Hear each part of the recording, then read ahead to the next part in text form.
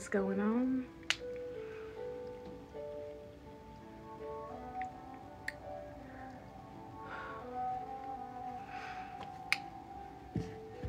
Hello. Thank you. People are joining. Hello, hello. How y'all doing? Hey everybody, how y'all doing? Okay. So while everybody is joining in on my live, thank you for coming on my live. It's been a minute, but um, good morning to you too. So I want to go ahead and just jump straight into it, and I want to discuss the Black Church. okay. Now, excuse me. Sorry. Where's my water? Now I wanted to I wanted to talk about this and you know make some content about it. But you know, I have like my 10 minute 10 minute videos on TikTok, but this I knew I was going to have like longevity. Like I need a long time to talk about this, you know, um as queen. Oh, thank you, as queen. Love you. Um but anyway, it was like, uh, are you a troll? We gonna we gonna get you up out of here.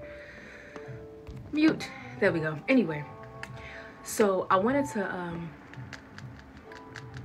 Thank you so much. Thank you. Thank you. Thank you. All right, y'all. So let's go ahead and um, get in, get straight into it. So I want to talk about the Black Church and the issues within the Black Church Christianity. Okay.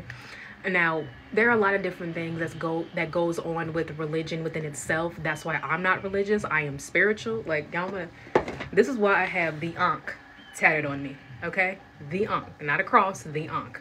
This is honestly one of my favorite tattoos, y'all. Like these, the favorite tattoo that I have on my body. And then Psalms 46 and 5, God is within her, she will not fall. But anyway, so I'll start off by saying that um, I basically I was raised Christian, okay, by default. Um, you know how there are people that are born into like Muslim families or Catholic families, or like a lot of us are born into Christian families, especially us within the black community. And this is the reason why a lot of us black people have shied away from the Christian church and have gone more of the spiritual route because of just the, you know, just the issues within the black church that so many people deal with. You know what I'm saying? Um, I'm sorry. I want to really, I really want to respond to y'all comments. Um, she was like, hello, uh, Mr. C12 Omega. My day is wonderful. I'm blessed and highly favored. Thank you. Have you ever done the egg cleanse before? Yes, I have. I did the egg cleanse before and, you know, you crack it in there. You can check to see, like, if anybody has is sending you evil eye yeah it actually worked people was sending me evil eye but i have done that um but um said you consider yourself black baby. I am a black woman. Nothing else. Not mixed with anything else. Just because i'm a lighter shade of melanin doesn't mean that i'm mixed with anything else. Yes i am black.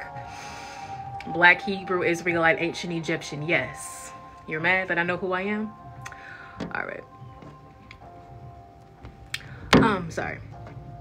But, um, anyway, let's get into it. So basically, I want to discuss what goes on within the black church and why it is so much corruption and why people are tending to leave the church because there is just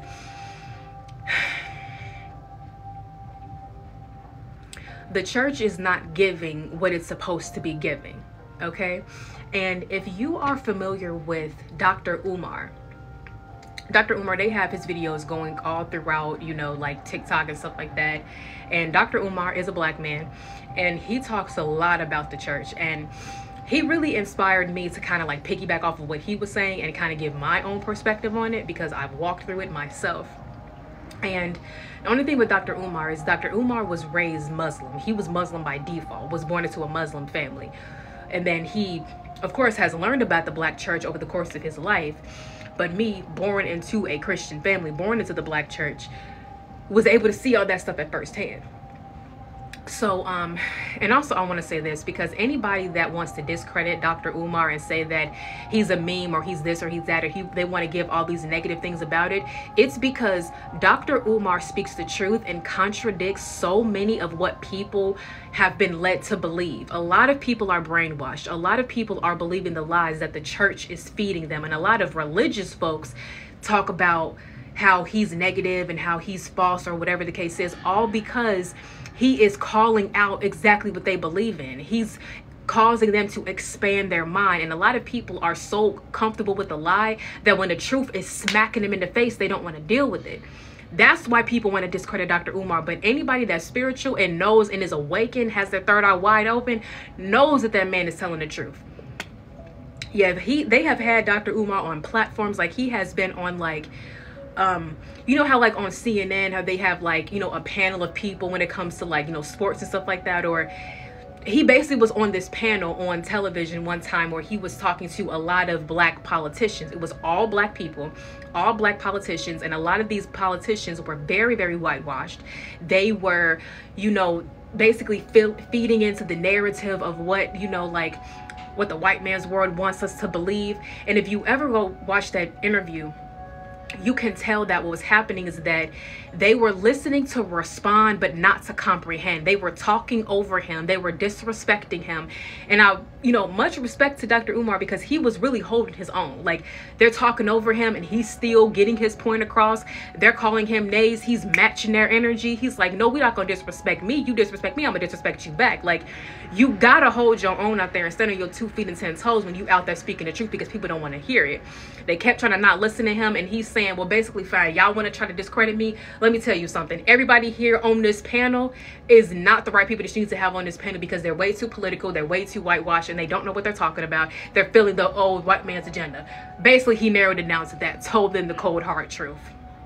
But anyway, so basically, um, piggybacking off of what Dr. Umar said about the black church is that he said the black church is taking three things away from the black community, three of them. And what those three are is one, our money. Okay, first, he said our money, our time, and our hope. Money, time, and hope is what the black church takes away from black people. It's a business, it's a corporation, it's a cult. It's not a church, it's a cult. It's a corporation, not a church. It's a business, not a house of the Lord. That's what it is. They have made it into a business. But a lot of this has started to happen over the past maybe 40 years or so. Right after, you know, Dr. King was assassinated, that's where there was a shift within the black church in a negative way like the neg you know the the black church went on a downward spiral after dr king was assassinated Dr. King was assassinated in 1960s, okay? So in, in the 1970s, that's when all of that, like it was like, you know, the late 60s is where they started to implement that whole shift. And then by the 70s is where it really started to get established. And it was just continuing for decades 70s, 80s, 90s, 2000s, 2010s, 2020s. Now we are what? Damn, I said 40. It was 60. We 60 years past that. Hello, Bo. Hello, how are you? We 60 years past Dr. King's assassination, and all of this corruption is happening within the black church, and it needs to be talked about. And what is going to help the black community, what is going to free us from the captivity that they are, come on, spirit, that it is, they are holding over us, is for us to remove ourselves from the black church that is not doing it correctly. Those of us that actually what we have to do is we have to remove ourselves from the black church and find another way to because really christianity was a the white the white christian god the white jesus the one that they worship that was how the slave masters cursed us spiritually. That is the white man's religion. That's not what we believed at first. Us black people when we were slaves we were spiritual.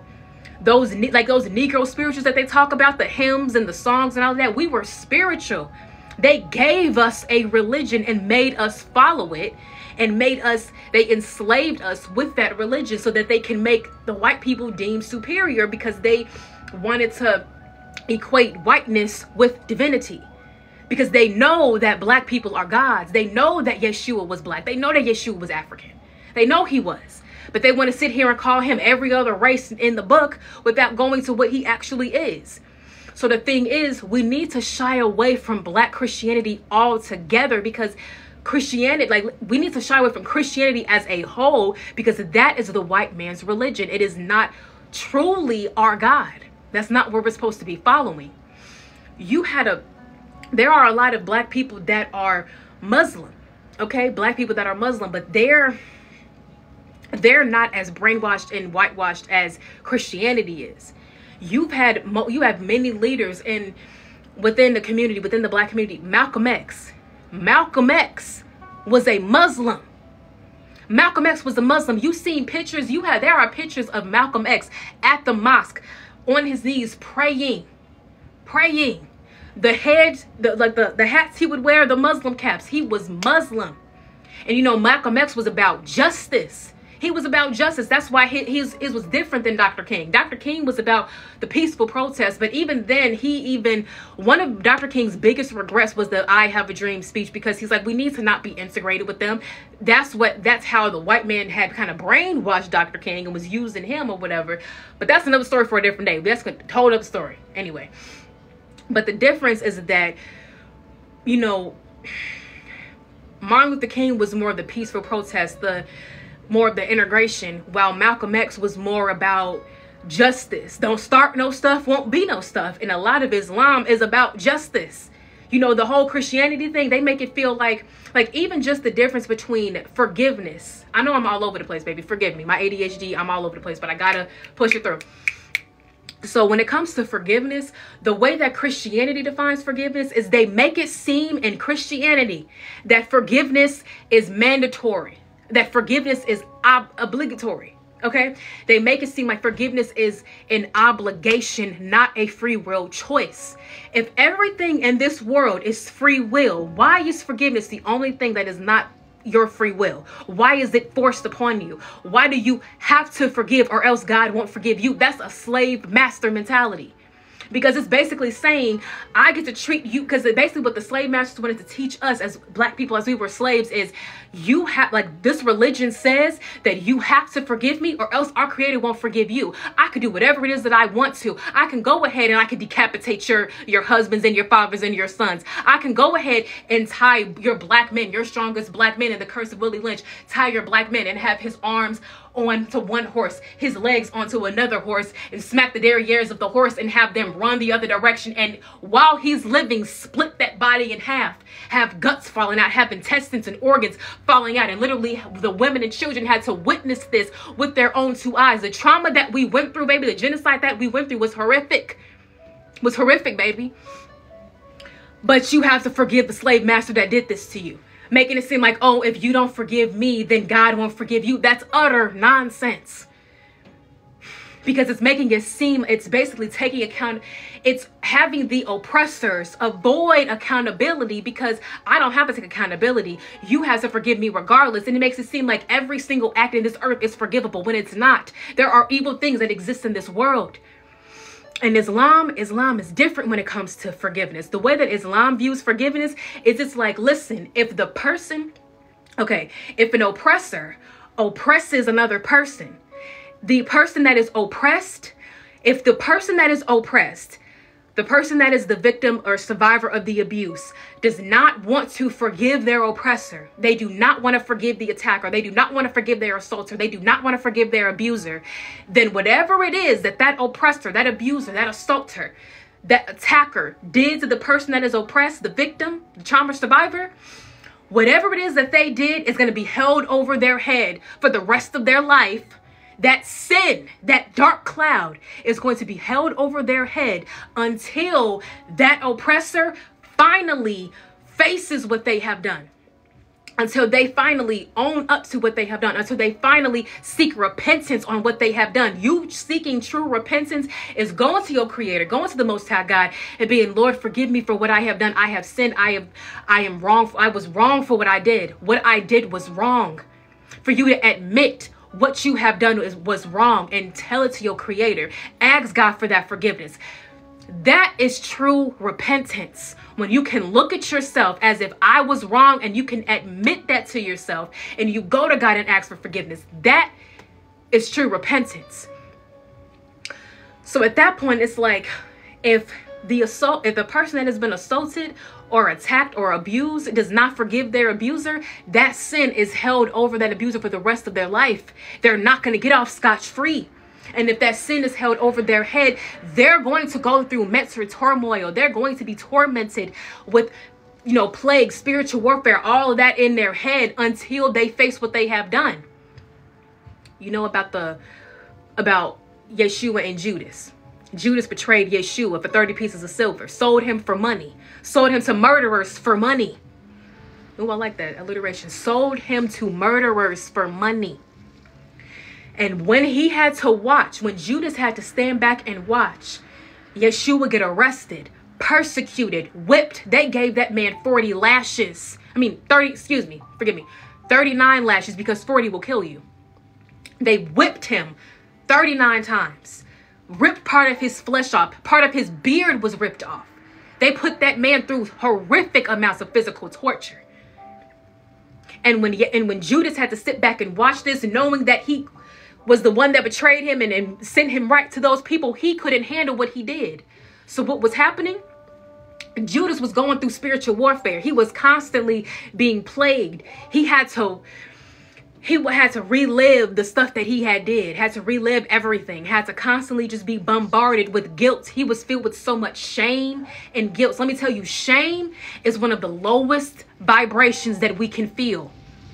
Shame is one of the lowest vibrations that we can feel. Women that have anybody that has been assaulted sexually that has been raped you feel shame. That is the deepest feeling that you feel. I know it because i've been through there too it's shame that we feel. That's why it's so hard for us to heal because we have to face the shame that we feel for what happened to us.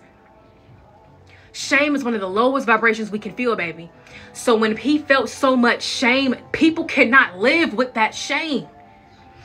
I mean, he was constantly being bombarded. I mean, like the spiritual warfare was at its peak. He had like you know, he had like black eyed children coming up to him and scaring him and, and being all like, what, what is going on? Like he couldn't escape it. He couldn't escape it in his mind. He couldn't escape it in the outside world because what is going on in, inside of you is going to manifest externally. So it was, he was tortured. And because, because Judas could not handle it, because that sin was held over his head, because he didn't repent, he did not repent for what he did. He felt guilty. He felt shame, but he didn't repent. So because all that happened, that's why Judas couldn't handle it. So what did Judas do? Hung himself on a tree. Unalived himself. He couldn't handle it.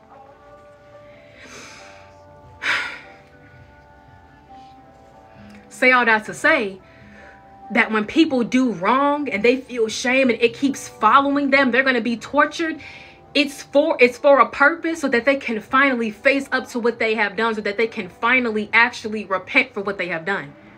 But if they don't repent and they take themselves out of here you're stuck in the karmic loop on planet earth on this dimension and you're going to come back. You're going to come back in a new body a new vessel and you're going to have to do it all over again until you get it right. Earth is the most difficult dimension to master why you think so many narcissistic people on this earth dimension? Because it's, it's hell on earth for them. They like narcissists be having the, the fun shit fest over here. You know what I'm saying? But that's why Islam views forgiveness differently. Because it's not about it's about where the person has their own free will on if they choose if they forgive the person or not and for like the christian people they have the christian religion has been preaching that and been forcing us to forgive people. And that's why a lot of people feel so much resentment and they feel like forgiving the person that hurt them is like a disservice to their soul. Let me tell you when it comes to you can accept what has happened to you to move on. You don't have to forgive someone in order to move on. You can feel indifference. You can feel indifference. Feeling indifference is like I accept what has happened to me. I accept the impact that it's had on me. I accept you as you are. But respectfully, I can move on with my life without ever seeing you again, speaking to you again. And respectfully, I don't want to give you or this situation any more of my energy. I'm turning my back and I'm walking away. I feel indifference. So I don't like, am I going to grace you with my forgiveness? No. Am I going to say that I don't forgive you? So I'm your that sin is held over your head? No, I'm not going to punish you with non-forgiveness. And I'm not going to grace you with forgiveness. I'm going to just simply be indifferent. I'm not investing any more energy into it and I'm moving on. You can feel indifference to move on. You don't need forgiveness. Because now it allows us to have our own free will, our own choices on what we want to do or not. And you see how that is more liberating, that is more freeing, that is allowing you to go within your soul and not being forced all these rules and regulations. Because in the christian religion forgiveness is like a rule that you must follow. And if you don't if you don't follow the rule of forgiveness then you're just so corrupted and you're just so evil and you're holding on to your pain. And shut up. No that's not even the case. There are some people that have done things in this world that is unforgivable so yeah now let's go ahead and talk about um talk about the black church because I know I digressed a little bit, but I'm coming back. Thank y'all for being patient with me. So let's talk again about how I'm piggybacking off of Dr. Umar. Dr. Umar said that when it comes to the black church, there are three things that the black church is taking away from the black community. That is money. Because somebody put that in there. Money. One is money. Two is time. Somebody put that in there. And three is hope. Somebody please put that in there so that we can see. Anyway, in the comments. One is money. Two is time. Three is hope. Money, time, and hope. So let's get into it. When you think of money, they take away so much of our money with the whole you have to pay your tithes. You have to have a percentage of your paycheck and you have to give it to the church. Every single sunday people are putting money into thank you so much. People are putting money into those offering baskets during offering time.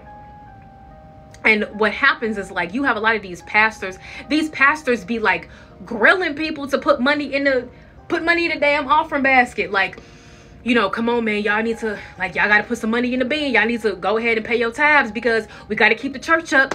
We got to make sure that y'all want to have a church to praise and worship in. You got to put your money in. If you don't, why you not putting your money in? Like, come on, put your money in the thing so we can keep the church up. We keep these bills paid. We keep these lights on. We can keep this, you know, electricity. We can keep the heat in here. Every, we keep the water going so you can use the bathroom all of that stuff talking about how it's just really for the, the church building when really it's for the pastors to get their paycheck you know all this all that money they want. So that they be grilling it trying to make it seem like oh i want you to go ahead and give because we need to like keep the church up when really it's so the pastors can fill up their pockets. That's what it is. And i can remember going to my church I, I live in chicago okay? And i went to i i grew up pentecostal christian at an apostolic church. And when i tell you it has been plenty of times during offering that like our pastor will be sitting up there like grilling people to put some money in the damn thing. Like trying to shame us if we weren't going to put money into it. Not thinking about like you know or maybe people don't got money right now. Like nah y'all can y'all can put some in there. G- give me something. Give, give me something. Like dude calm down. Like these people be living in big beautiful homes. They live in these big mansions in these expensive neighborhoods in the white neighborhoods. Yes they do because they want to be approved. They definitely want the white man's approval. They be driving these fancy cars, driving Mercedes Benz, be Lexus, so I don't know cars that much, whatever expensive cars that they have. Driving the most expensive cars, be having all of this money, going on these expensive trips, going doing all of this kind of stuff. Church is taking up a whole block on 6th 3rd. That ain't my church that I'm talking about that I'm going to. Uh-uh. It ain't that one. But nah, you got churches with all this land and you you have churches that are my church has been in existence for not it was 96 that's uh going on 28 years 28 years my church has been in existence and I gotta piggyback because these are not my words. I'm piggybacking off of Dr. Umar. Dr. Umar is talking about how churches need to make sure that they have stuff like, you know, um, you know, schools for children having things like like opening up hospitals you know having you know you know money for like people to get loans from or you know having gardens for food that we can have for like you know feeding people feeding the congregation feeding the homeless. You know like with all the money that churches have they can create like homeless shelters for people. They can create domestic violence shelters for people. They can create schools. They can create after school programs. They can create stuff where they have you know just different ways to give back to the community. But why is it that the black churches are not creating anything to give back to the community? You giving all your money to these people every single Sunday, but it ain't nothing that you getting in return. You ain't getting no schools. You ain't schools for your children. You ain't getting no hospitals.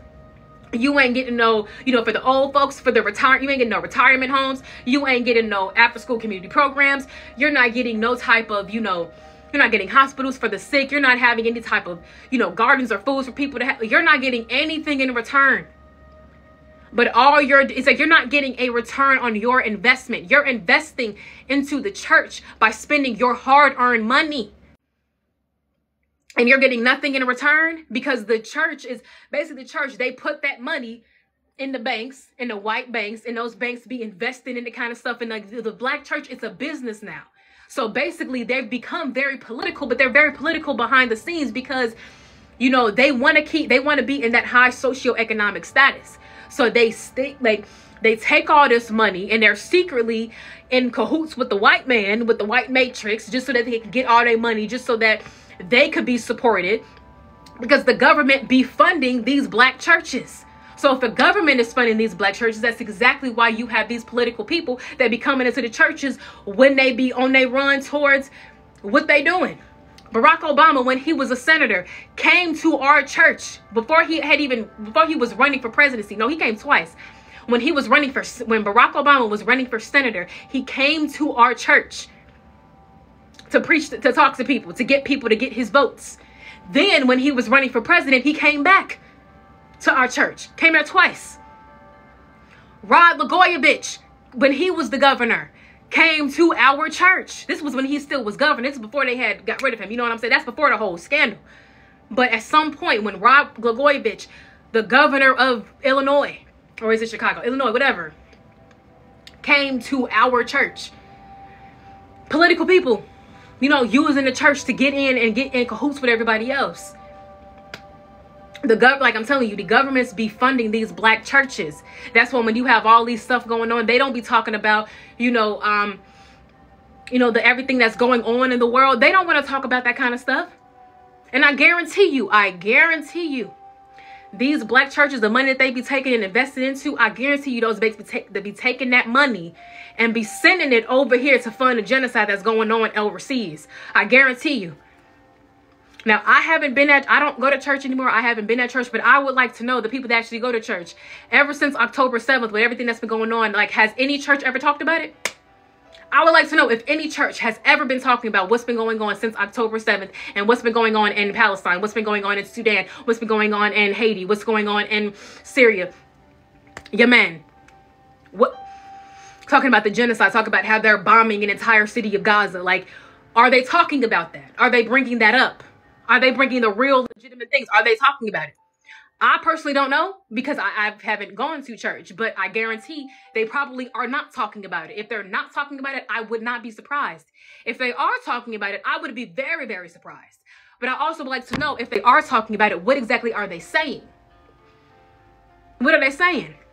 Let me tell you another thing about how corrupt the church is, is because we're, I can't remember if it was 2014 or 2015, but whenever the United States of America had legalized gay marriage in all 50 states, all 50 states, gay marriage was legalized. I remember going to, I remember right when they passed that bill, that law was passed. I remember going to church that Sunday and our pastor talked about it and he was talking about how oh you know we are in the last days. We are in the end times. Jesus is coming back. This is the day of redemption. Because look look at what happened. Look what's going on in the world right now. With this law that they done passed with all this gay marriage stuff that's just ridiculous. Letting people letting gay people be married. This is just ridiculous. It's going against god's word going against god's will. Jesus is coming back. Look at that. And i remember sitting there like Really, Pastor? So you finna hide the fact that you're homophobic under the guise of religion and this whole religious narrative? It was in that moment that I had started to think, I had started to see my pastor so much differently because I'm like, dude, you're homophobic. You're talking about, oh, the world is going to end now because they legalized gay marriage in America? Like, come on now, dude. Come on now. Be freaking for real. 2015. Thank you. And it was after that moment, that was that turning point for me. That was when I really started losing interest in the church. And let me tell you, it was the church itself. This is why people go through so much religious trauma. Because when you are told from a young age that if you like the same sex, if you like the same gender, if you are homosexual or even bisexual, if you're basically, if you're not strictly heterosexual, then you're going to go to hell. You're going to burn in hell for all eternity because God is against that and everything. But the whole thing is they talk about, oh, well, God knows the beginning and your end. So if God knows the beginning and my end, wouldn't God know what my sexuality was going to be, what my sexual orientation was going to be? Baby, I knew I was bisexual since I was 13 years old. I was in the seventh grade when I knew that I liked both genders. I liked boys first, but then when I got older, I was like, I kind of like girls too. And now at this point, I embrace it fully. Really, deep down, I'm pansexual. That's where I have really expanded to. But yeah, I have no issue with that. But for the longest time, I felt so much ashamed.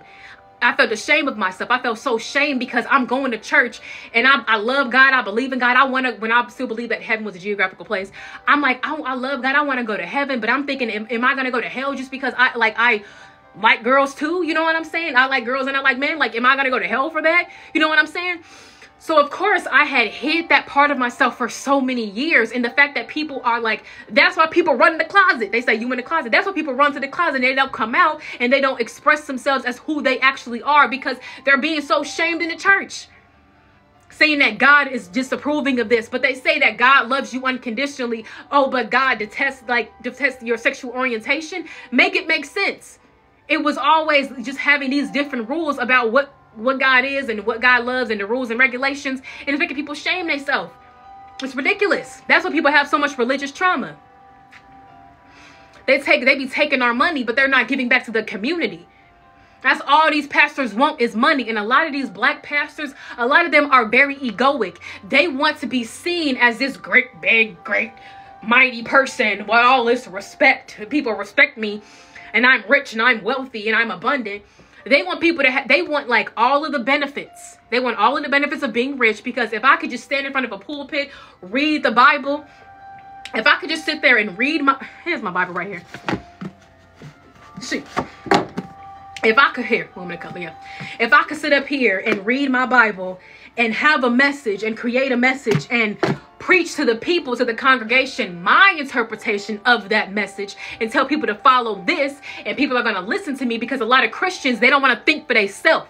They, because Christian, we have been like, they brainwash us to believe that we cannot trust ourselves, that we cannot go within, that we have to be dependent on something outside of ourselves. We have to be dependent on another source. When you are working with the creator, you're not fully dependent on the creator. You work with the creator, co-creating but they want us to they want us to feel like we have to be dependent on something else so that we cannot believe in ourselves and trust in ourselves and tap into our own power tap into our own strength so if we have to believe something outside of ourselves then of course we have to believe you know, we have to go to another person to deliver a, a, word of God message to us. We have to go to another person to tell us what we should believe in and help us understand the Bible. And that's the thing. These Christians, they think like if I go to church and I have somebody tell preach this message to me and tell me everything that I need to know, then that's fine. I don't have to read the Bible in my own like daily life. I don't have to read the Bible outside of it because I can go ahead and go to church every Sunday. And this is why a lot of and it's it become it became so corrupt that people just feel like as long as they go through the motions of what it means to be Christian, as long as they, they perform as a Christian, then they're fine a lot of Christianity has become very performative. It's performative. You had these people just performing and everything just to, like, people want the attention. Like, they want to do this whole thing with the, whatever they be trying to do, you know. You know what I'm saying? Like, like, oh, look, they got the Holy Ghost. So everybody look at them, give, give them all the attention. Like, it's performative. Okay. So, you have these people they're these people are so brainwashed to think that in order for them to have their faith all they have to do is go through the motions all they have to do is perform all the right rituals all they have to do is follow these rules and boom they're christian they're this you know, holier than thou person, but they don't focus on the actual development of the self. These Christians, all they do is do what they can to satisfy their ego, to satisfy their flesh, but they're really not fulfilling their soul. A lot of these people be praying, but they don't even pray to the right God. They don't even know what God they're praying to. A lot of Christians don't even know how to hear the voice of God. A lot of Christians don't even have the Holy Spirit in their vessel. They don't even have the Spirit of God within them. A lot of Christians are not men and women of God. A lot of them aren't because they think, oh, if I just dress modest and I just dress up for church and I stop cursing and I stop smoking and I stop drinking, I stop going to the club, then yeah, I'm a hor- I'm a wonderful Christian. I'm still a horrible person, but if I go to church, then I'm not a horrible person. Like, no, bro. They do everything to make their flesh and their ego look good to protect their image, but they do so little when it comes to their actual soul. A lot of these people are corrupt.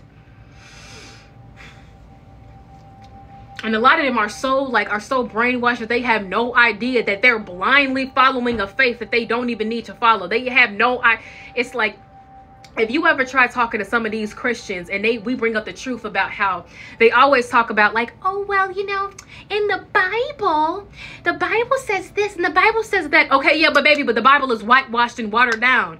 And first of all, you're reading the NIV version. That's the most, you know, corrupt version of the Bible. Read that King James version. You see this? King James version. Them Christians don't want to read that version because it requires them to actually use their inference, actually have to reflect on the word, reflect on the words that they are actually reading. It's not just carefully just spelled out for them. That's why a lot of them read that NIV version. They be, oh well, you know, in the Bible it says this, in the Bible it says that. Okay, so what? What else? What ha- what exactly ha- what connection do you have with God that is not outside of the that's outside of the Bible? You know, and the thing is, you'll you would like spiritual people will tell Christians like, okay, but the Bible is watered down and whitewashed and all this kind of stuff, and they'll go, yeah, people say that, but still, I don't believe that. I just believe that the Bible just has everything, and I just want to believe my Bible because I'm a Christian and I love my Bible.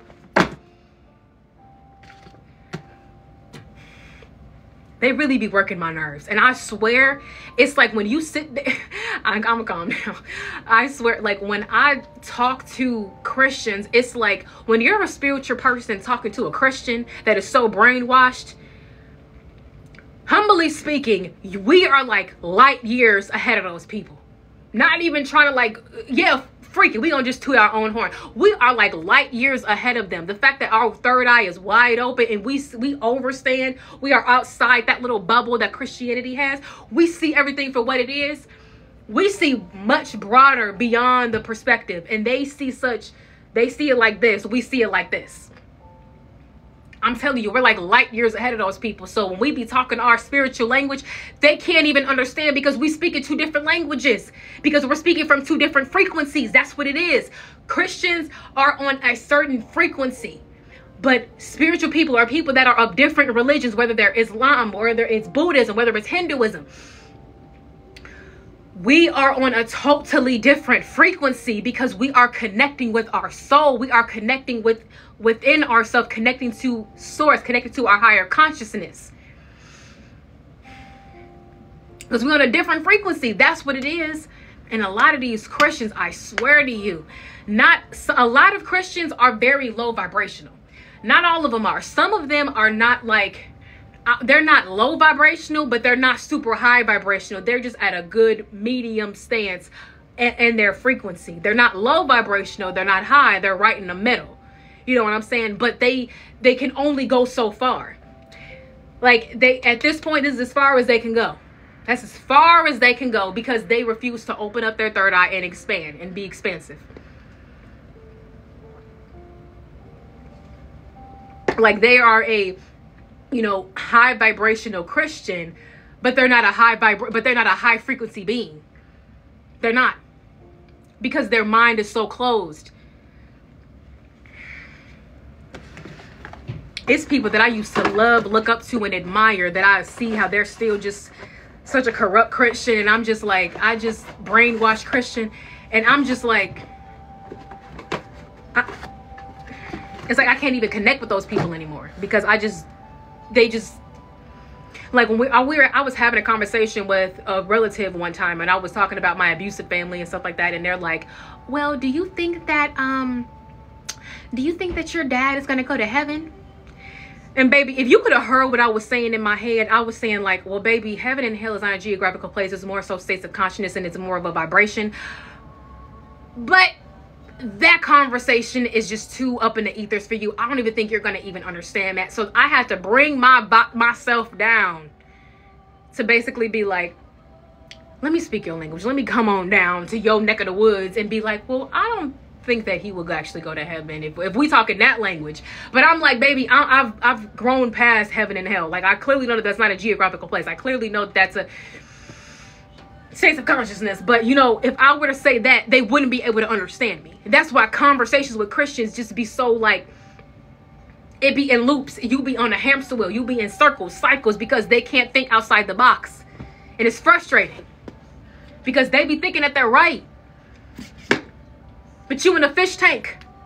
I'm in the ocean. Baby, you know the whole like baby, you know majority of the earth is taken up by ocean. There's more ocean than land. There's more water on this earth than land. I'm in the ocean, baby. You in a fish tank.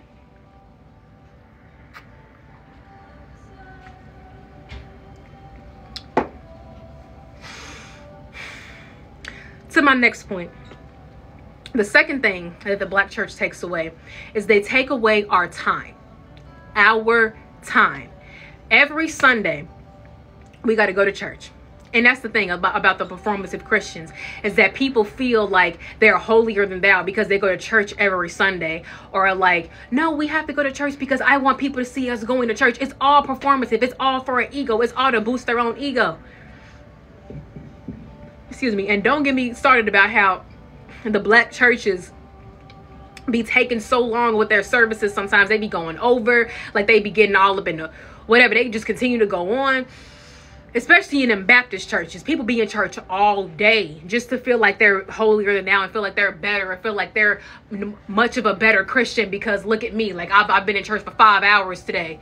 Baby, Sunday is your day of rest. You need to be sitting down and resting and relaxing somewhere. And you got to get up and go to work in the morning and you still ain't had your time. Nah, nah, bro. And you even have those times where, like, you know how sometimes where, like, church can go over and, and you know, if, church just lasts too long and you have people getting up and starting to walk out because they're like, I'm gonna leave. I'm not staying here no more. I didn't have my time. I want to go home. I want you to go home. And then you have those people that are only in there for the aesthetic, only in there for their image, only in there for their reputation, only in there for their ego. Those be the main ones that be sitting there because they're like, I don't want to be perceived. I don't want to get up and, and walk out. I don't want to be one of those people that people are staring at me. I don't want people perceiving me as, oh, you got some place to be. You think you better. I don't want people judging me for getting up and walking out, even though they know they want to go, they want to get up and go out, even though they know they want to go home. But they don't want to do that because they're afraid of what people are going to think about them. They're afraid of how people are going to perceive them. You got too many Christians in there performative Christians, self proclaimed Christians that are really just performative, that are only in there just to satisfy their own ego, satisfy their own flesh. Because if you really didn't care about what other people thought about you and you said, I want to go home, I don't care what they think about me, you would get up and go. But they'd be so worried about what people think about them, they have to sit there. I know because my parents are one of them. We would have we had to sit there that whole entire time. And I'm like, I'm ready to go. But if they're not getting up, I couldn't get up. I used to hate that shit. All because they are afraid.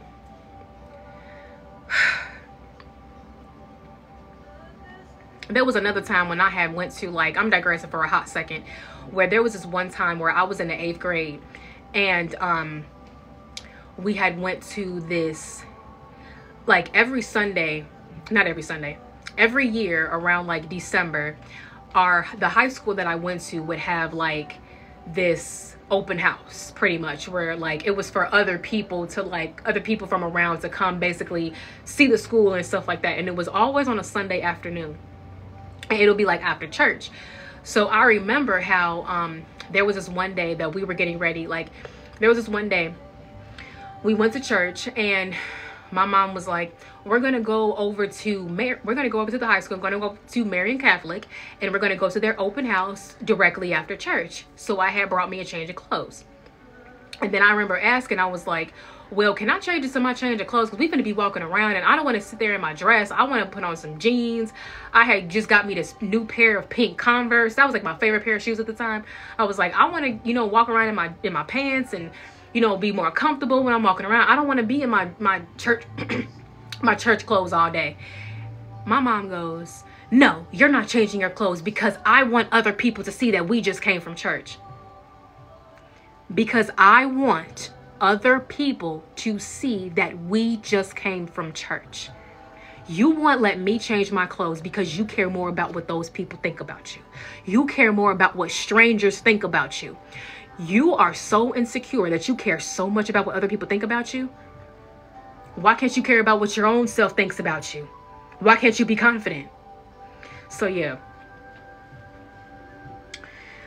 It's ridiculous, baby. And let's not talk about, no, let's talk about it. Let's talk about you have you have stuff like Bible study, you have like Friday night services, you have other type of services that you have uh, throughout the week, and so many people want to go to those services. They want to do stuff throughout the church. Let's not forget, you know, when it was Halloween and they wouldn't let you celebrate Halloween, so they say, "Oh, we got to go to the Hallelujah night. Let's go to church on Halloween so everybody can see how we're so holy." Let, let your kids have a good time. Let your kids have fun. Let them dr- like they didn't wear their costume to school today. They didn't had a Halloween party at school. They got kicked up in on sugar and cupcakes and candy. Let them have a good time. Let them go trick or treating. It's nothing demonic about that holiday. Stop think, stop letting this this Christianity brainwash you. But no, they they want to make sure that their image is, is taken care of. They want to make sure that they feel better. They want to make sure that people perceive them a certain way. It's all about being perceived. And it's all about being accepted by a white man. That's it. That's it.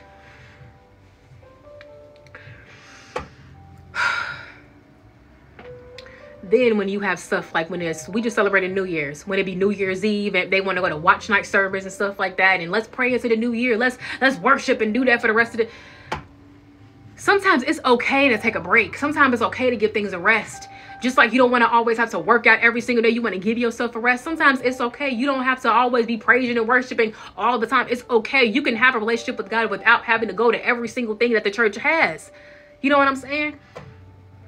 And a lot of times, people, and a lot of times, we would just be forced to go to that stuff. And uh, it's just, let's go to the watch night service so that everybody can see that I'm a holier than thou person because I'm choosing to go to church. I'm choosing to go to church on uh, New Year's Eve. The rest of you all, I'm better than you because you all are getting drunk and getting high, and I'm in church. I'm better than you because you all are in the comfort of your own home, relaxing while I'm in this packed up church with all this noise and all these bright lights. That's just my autism thing with the bright lights and all the noise. But anyway, still, it's all performative. It's all for people to perceive them in a certain way. That's why you have so many corrupt people that under the guise of Christianity because they feel like what they're following is exactly what they need to follow, but they don't ever question it. They never question what's taught in church because they don't do their own inference. A lot of these Christians, they may pray on Sundays while they're in church. They may read the Bible with the pastor in church, but not one time throughout the week do they ever pick up that Bible six days a week. Monday through Saturday, they don't ever pick up that Bible. Monday through Saturday, you barely see them praying. Barely. Because they think if they just do it on Sunday, then everything is fine. Nah, bro. Uh-uh. That's why a lot of people in Islam are high vibrational because they pray five times a day. They pray five times a day. Get themselves grounded. You know what I'm saying? So they actually incorporate prayer life, their own connection with God, their own type of, you know, relationship with God in their own individual daily life. Like they encourage that in your daily life. It's not just, oh, we pray on our holy day. No, you pray every day. And for people in Islam, their their Sunday, okay, our Sunday, like I'm sorry, the Christian Sunday is like the Friday. I'm sorry. In Christianity, Sunday is the holy day that people go to church. In Islam, Friday is their holy day that people go to mosque. Thank you. Forgive me. Took me a while to get that out, but that's what it is. So you don't see them only praying on Fridays. No, they pray every single day. That's why it's like, you know, um, like Christianity is just very performative. People just think that they just, as long as they just do the right things and follow the right rituals, then oh, they're doing everything that they're supposed to be doing. No, bro. So yeah, they take up our time. The last thing is they is hope. They take away our hope because they make it seem as if, you know, I'm trying to think of how he explained it. Like, let me just take my own thing to it. Is where basically what the Christian church does. Oh, thank you. Basically, what the Christian church does is um you're speaking from the outside, sweetie. I grew up in the church. I grew up in the church my whole goddamn life. So fuck you. Anyway, um, speaking from experience, anyway. Um, but anyway, uh, let's say, let me say this: is that they take away your hope. Okay, they take away your hope because basically you're out you're going to church every day and all this kind of stuff and basically they make it seem like you can't trust within yourself. You can't rely on your own strength to get things done. You have to basically rely on God to do all this for you, for God to fix everything for you, and you have to just wait on God where you're just sitting here waiting on God to change things for you when you have the power to change things for yourself. That's what they say faith without works is dead they think if, if all I have is the faith, I don't have to put in the work and everything is just going to come to me. No. And that's why they only realizing that we have the power to change our own reality, but we don't do that. They're keeping us stuck and stagnant. That's why Christianity was invented to keep us stuck, to keep us stagnant, to keep us from tapping into our power, to keep us from tapping into our full potential, to keep us from recognizing who we really are. The way that the black community is suffering is because they don't know who they are. And it's not all of us. But a lot of black people in the black community are suffering because they don't know who they truly are, because they didn't question anything. They just blindly followed, blind faith, blindly believing everything, but they didn't question anything. They didn't challenge anything. And by not asking questions, by not challenging anything, you're just blindly following. You're just going off of somebody else's narrative. But the people that actually challenge things and question things, oh, they're disrespectful, oh, they're corrupt, oh, they're demonic. No, shut up. They're not. They actually have the courage and the confidence to act and the security within themselves to act, and the intelligence and the wisdom and the discernment to think, I don't know if I can believe all this. I want to try to find things for, out for myself because they have the courage to think for themselves. They have the courage to think for themselves. They're not just blindly following something. A lot of times in Christianity, you have the blind leading the blind.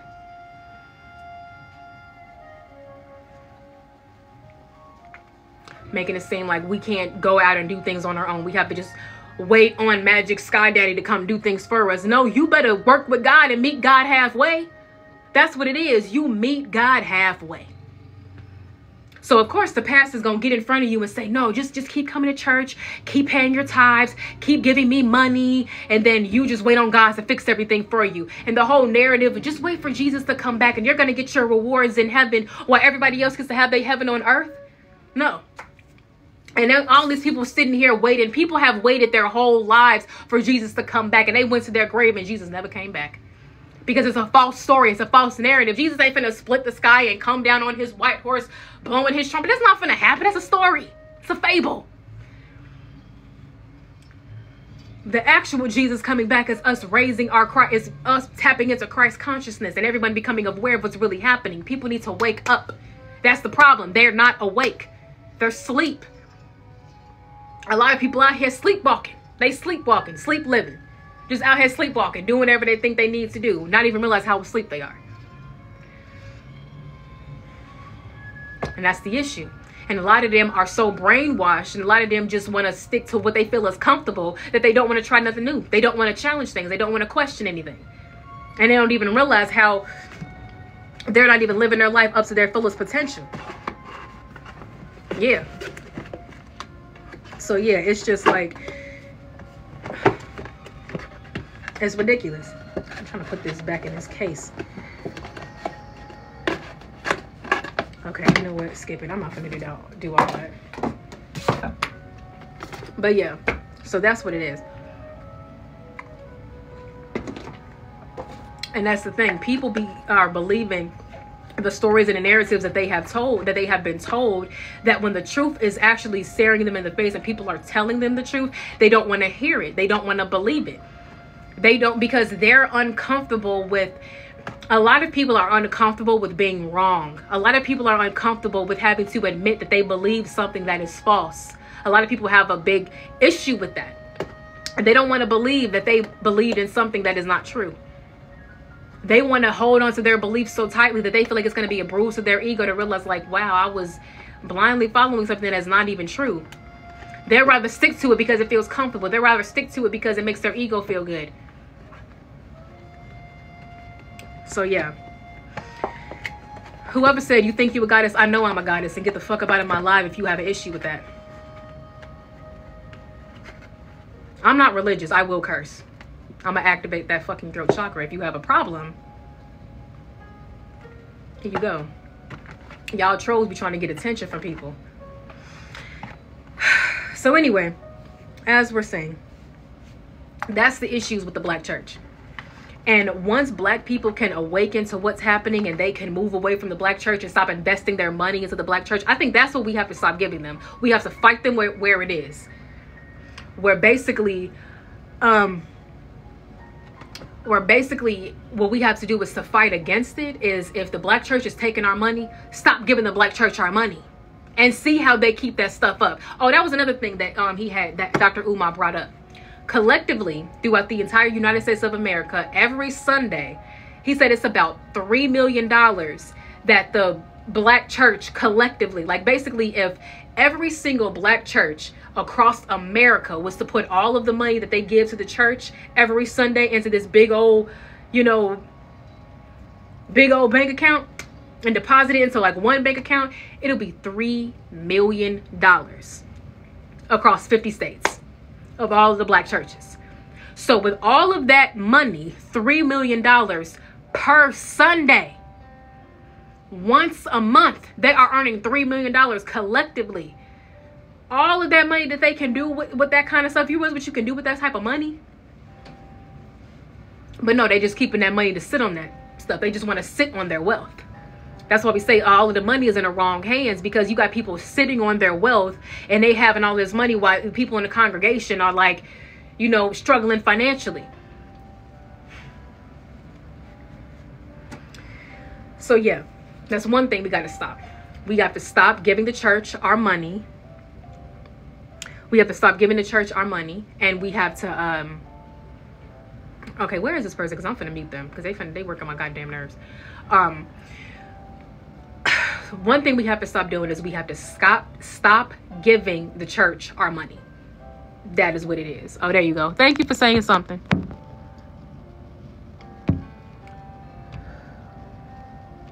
Alrighty. Okay. The one thing is to stop giving the church our money. The second thing, second thing is to stop giving the church our time stop giving them our time. They're taking up our time. They're taking up our energy for that not to be reciprocated. Once you have less people going to church, then at this point, pastors gonna have to wake up and realize that they have to start doing things differently. They're gonna have to start using their the money righteously and actually do the right deeds instead of just sitting on the wealth. And that's another thing that Dr. Umar had brought up. He was saying that he has an issue with the lack of deeds that the black church is giving with all of this money. Instead of them actually giving back to the community, doing good deeds, doing righteous deeds, they're just sitting on that wealth. So if we stop giving them our money, we start giving them our time, we're like, until you can start giving stuff to us in the community, we're not going to give you any more of our money. We're not going to give you any more of our time because you need to have something here that's going to give back to us. It needs to be reciprocal. That's how you build a church community. But if we're in community with you and you're not in community with us, what is the problem? What is the issue? How is that going to resolve anything? and then the last one is we have to have hope within ourselves. We have to take the we have to take our power back. Take our power back and to realize that we don't need to always go to church every Sunday in order for us to feel like we are a, you know, holy person we don't have to always listen to what somebody else thinks about the word of God and the stories that they tell and what the messages behind it. We don't have to always listen to that. We can have our own inference. We can do our own study. That's why the people that are the most faithful, the people that have the strongest relationship with God, are not of any religion because you don't need a religious narrative. But a lot of people are afraid of to living a life without religion. But that's the most liberating thing you can do for yourself there was something else. Um, I lost my train of thought, but it's gonna come back.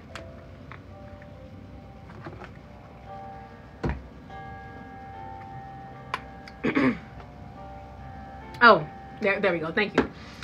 another thing is that a lot of these pastors, a lot of these pastors don't real are not really in it for actually helping. Thank you for the roses, baby. They're not really in it to actually help the congregation. They're not in it for the people. They're not in it for the people. They're only in it to actually basically like okay, thank you. They are in it for themselves, but they're not in it because they actually want to help the people.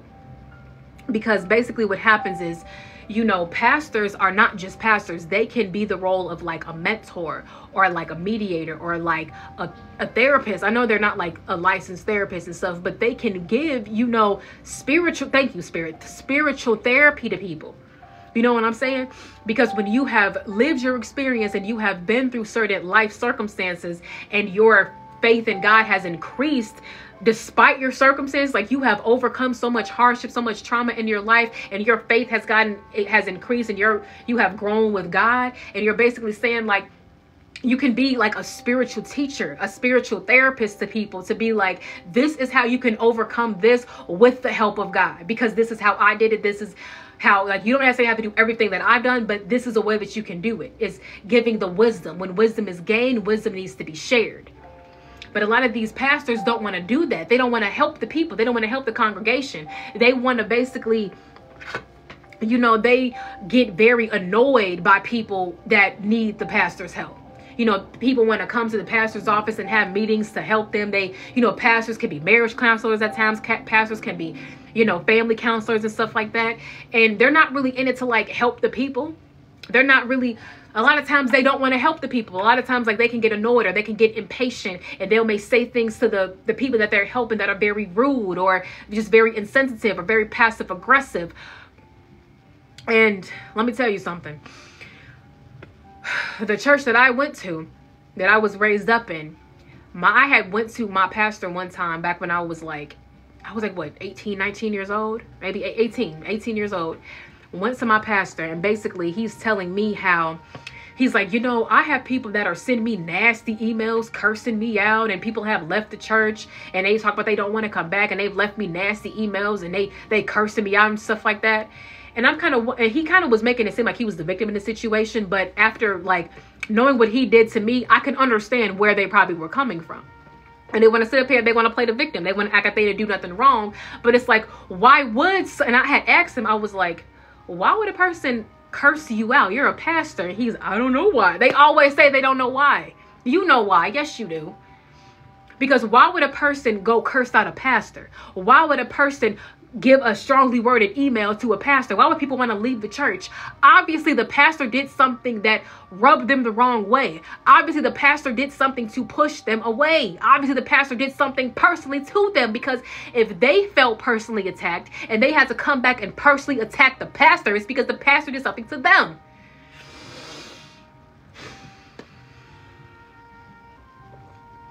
and I know this from my own experience. I had made a video about this, but listen, I'm gonna reiterate and that basically make a long story short i'm not talking to my narcissistic dad. I have gone completely no contact with him. I have blocked his number and everything and i have made content exposing him and speaking my truth. So what happened is um i had ended up doing some things where like there was this one day where i had made a video about how horrible of a father i had and how much i feel empty because of the lack of love that i had. And i basically sent the video directly to my dad via email. Like, you know how you like, I wish I could tag my dad in this. I actually sent it directly to him. Like, I'm like, I want you to know exactly how I feel about you. I'm going to tell you directly. That Queen of Swords Gemini, I don't care how I'm making you feel at this point. Because if you hurt me, I'm going to let you know you hurt me. So anyway, what happened is that um my dad reached out to my pastor and was talking to him and my dad was like well i just don't know why my daughter is not talking to me. She's blocked my number. I just don't know what i've done wrong. I don't know what's going on. We don't have a relationship anymore and i just don't understand what's going on. And she's making me these videos about me on her social media and i really just wish that she would stop. So i'm just wondering if i can give you her number. I'm wondering if you can go ahead and have a conversation with her and call her up and see what's going on. And maybe you can talk to her and see if she's gonna stop sending me stop um sending me me videos or stop talking about me on her social media and stop bringing that to the and bringing my business out there that bastard was only caring about his image. All he was caring about was his own reputation. He didn't care about the pain and hurt that he caused me. He didn't care about being a better father to me. He didn't care about helping heal my pain. He didn't care about taking accountability for how I felt. All he cared about was his own reputation. So what happened is this actually happened very, very recently, you all. This is, was around, okay, it wasn't December. It was either like, was it November? It was November it was November. Okay. Okay, either November or October. I can't, it had to have been. Okay, I'm sorry. I'm months is running together, but it was either October or November. October or November. When my pastor calls me so first of all like i know that i did not give my pastor my number. So anytime like i get like a number anytime like somebody calls my phone and it's not a contact i'm not about to answer that because i don't know who you are because i'd be thinking it'd be scammers you know robocalls you know what i'm saying? So i don't answer that kind of stuff. But what happened is i didn't answer the phone call. So what happened is my pastor has sent me a text message and he said hey this is pastor so and so you know um, can you give me a call? So i'm like oh okay so at that point, my intuition was like, why else would my pastor randomly be calling me out of the freaking blue? My intuition was telling me, I'm like, you know what? I think yo dad, I think my daddy done reached out to pastor, and that's exactly what pastor was calling me because of everything that I have been saying and doing and dealing with my dad. I feel like this is about my dad. So what happens is my I call my pastor, I phone him up, and he's like, you know, he's like, hey, what's going on? Um, do you know why I'm calling you? And I'm like, well, Pastor, my intuition is telling me that this is about my dad. Is that what this is about? He's like, your intuition is correct. It is about your dad. So I'm basically giving my side of the story about what has happened between me and my dad and everything like that and I'm telling him, I'm like, well, this is how, this is what he has done to me over the course of my life. This is how he has made me feel. I have basically said he's made me feel like he's very abusive. He's neglected me. He's abandoned me. He has, you know, lacked a lot of love in my parents and his parenting towards me and just it's just a lot. And i'm just at a point in my life right now i'm like i feel like he really wasn't around like he was present but he was emotionally distant and emotionally unavailable. And he's very rude he's very mean. I don't want him in my life anymore. I'm at a point now in my adulthood where if i've survived all these years without having him in my life i can survive the rest of my life without having him in my life because he really doesn't bring anything into my life but chaos but stress. I don't need that and I'm like, yes, I have blocked my dad's number and everyone has an issue with that. But I tell them I pay my own phone bill. I have two phones. This one right here. I have a work phone and I have a cell phone. The phone I'm using right now is my work phone. This phone right here is my cell phone, both phones. So I'm saying if they want, I'm like, I'm like, okay, well, listen. If people want to control who I block and who I don't block, then send me the $200 a month that it costs to pay for both of these phones send me the money.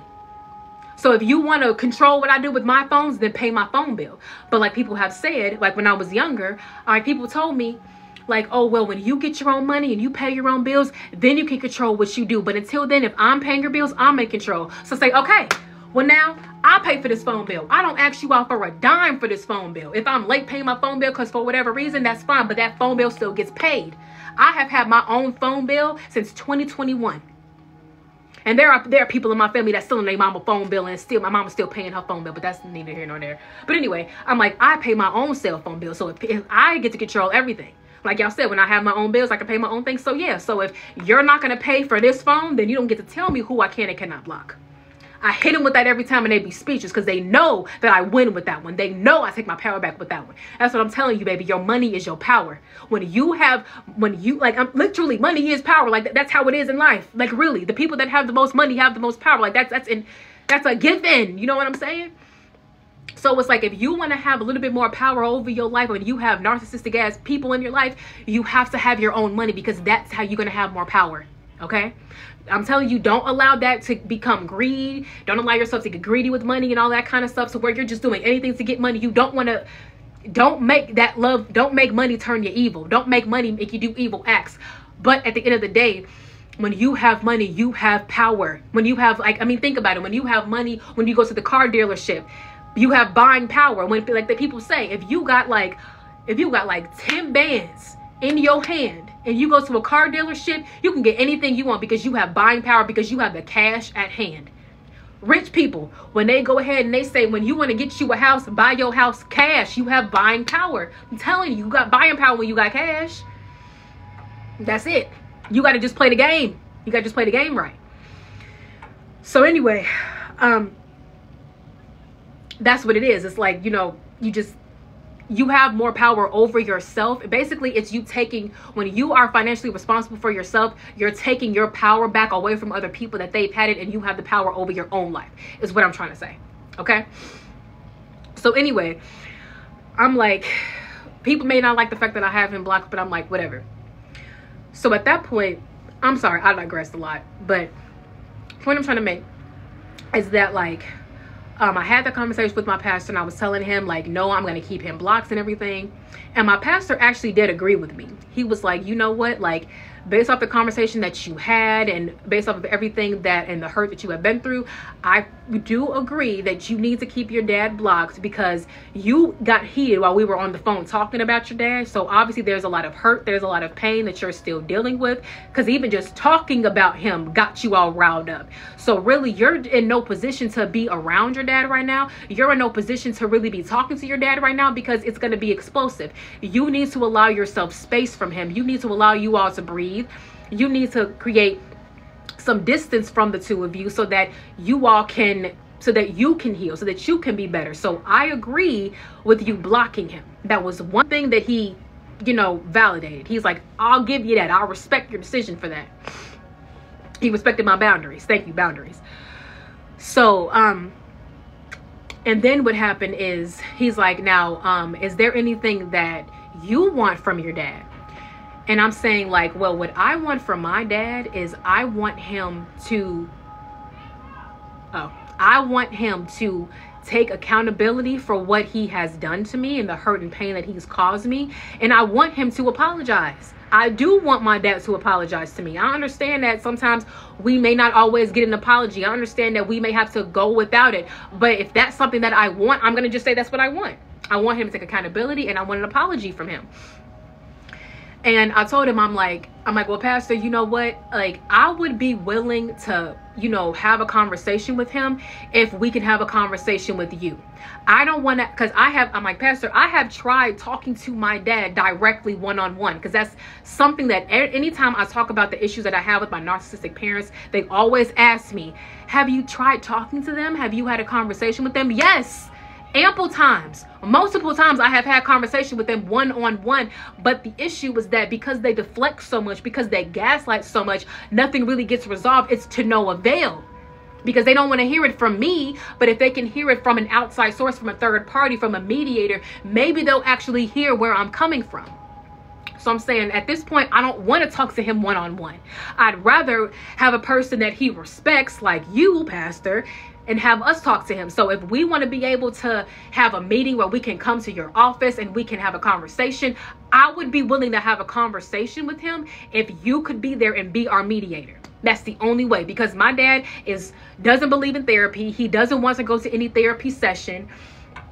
And he talked about wanting to come into my therapy session, but only because he wants to basically give his perspective on things because basically he just wants to retell the narrative, not because he wants to understand my hurt, because he talks about my dad has talked about saying like maybe I can come in one of your therapy sessions just to kind of like tell your your therapist my perspective on things because one's perspective is one's reality and maybe if I can kind of give my take on things maybe they'll be able to understand what's really going on. Not about I want to come into your therapy session so I can understand why you're hurting so much and where this hurt is coming from and understand your hurt and understand how I can help you with this hurt. No, it ain't about that.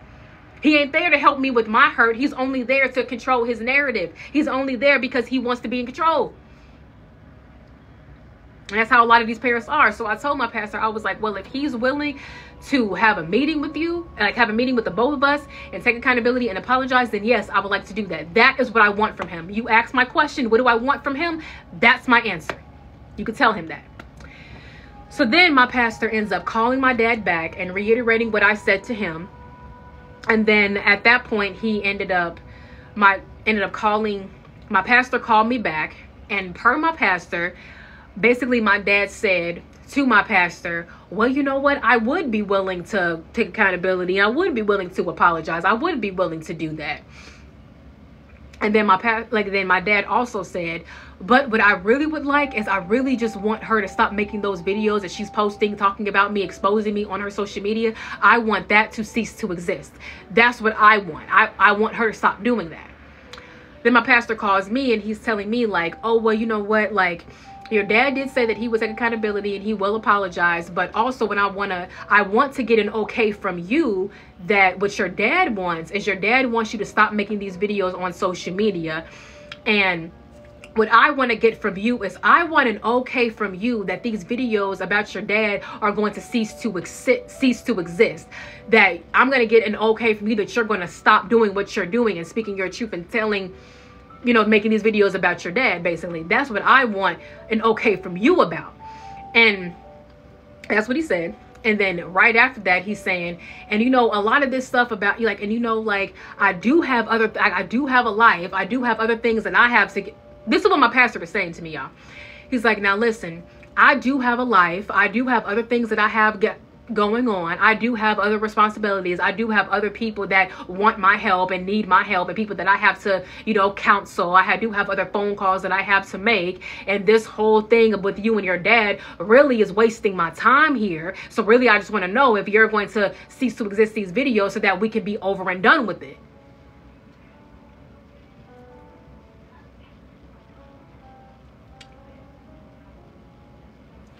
So basically, my pastor, someone that has known me for 20 years, because I was six years old when our family joined that church, the same pastor that baptized me, the same pastor that I sat in his office at times talking to him when I'm going through stuff is the same person that's telling me that my pain, my trauma, and these issues is wasting his time. When I'm not even the one that reached out to him this time, it was my dad. So you want to tell me that I'm wasting your time? You know what? Honestly, dude, I felt like he had the I felt like my pastor didn't have the balls to say that to my dad. So he wanted to say it to like another man and they around the same age. So actually my pastor's older than my dad, like by like 10 years. But anyway, he didn't want to say that to another man. So he wants to say that to a young woman, a woman that's young enough to be his child. Like his his children are all grown. He has grown children, grandchildren. You know what I'm saying? I'm like, I'm close in age, I'm closer in age to my pastor's oldest granddaughter than I am to his youngest child. All of his children are in their 30s and up. Okay, you know what I'm saying? His youngest granddaughter is 18 years old. I'm closer to her age. You know what I'm saying? So I'm like, Pastor, not only am I young enough to be your child, but I'm young enough to be your grandchild. And this is how you're talking to me? This is how you're treating me? Okay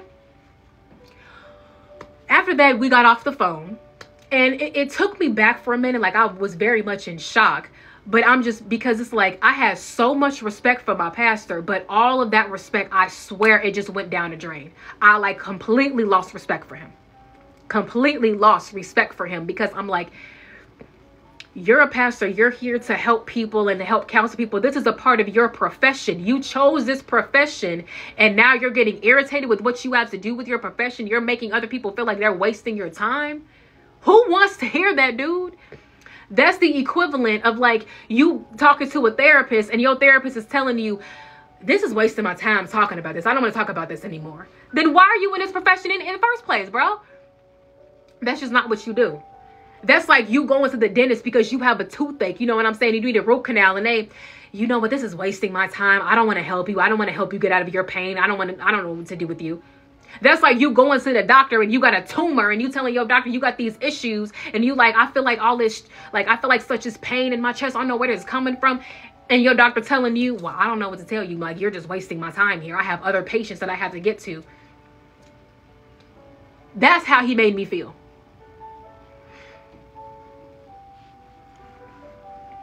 And listen, understandably, like he probably has a lot of other people that has, you know, um, like a lot of other people that has, you know, came to him with their problems and all of this kind of stuff. And it's probably a mixture of a lot of people. But for him to project that pain onto me was wrong. It was wrong because I'm like, I'm not even the one you really mad at. You probably mad at other people, but the fact that you took the anger out on me is wrong. Regardless, you're harming the innocent. That's not what you do. That's one thing that God detests is when you harm the innocent. You're harming somebody that ain't did nothing to you. So yeah like i can understand like as a human people get tired. People get irritated. Pe- like i understand people can get tired of things. But you don't want to make a person feel bad about it. You don't want to shame them. You don't want to say that that rude passive aggressiveness to them because you don't know how a person's going to take that people that have been abused and people that go through trauma they already get invalidated enough. They already get abused enough. And basically you're kicking them while they're down. You gonna help like it's like basically you reaching your hand out to help them up. Just to push them back down it's like everything that you did for me now is null and void and doesn't even make any sense. It's like how can i even respect all that you have done when you just that's how you decided to end it?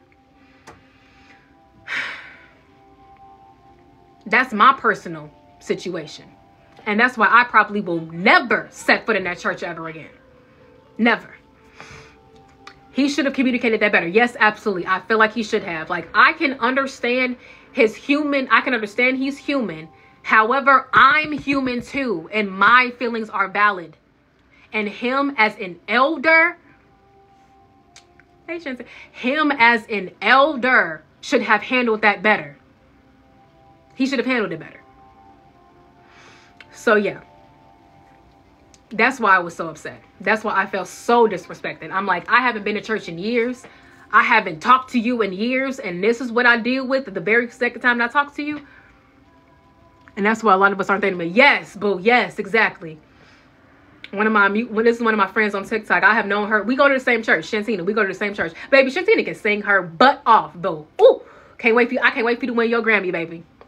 You and all your siblings, y'all gonna win a Grammy. Yes, I love it. But nah, but a lot of us a lot of the young people we moved away from that stuff because we realizing how corrupt this shit is. It's like bro. So anyway i'm gonna wrap up because i got overwhelmed. I got a little overstimulated. Oh thank you boo. Thank you. Love you so much.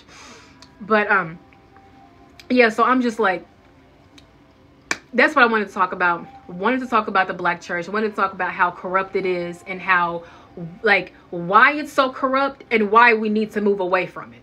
Okay? Because the way that they're doing things is just just out of order. It's just completely out of order. So yeah. I'm gonna end this here.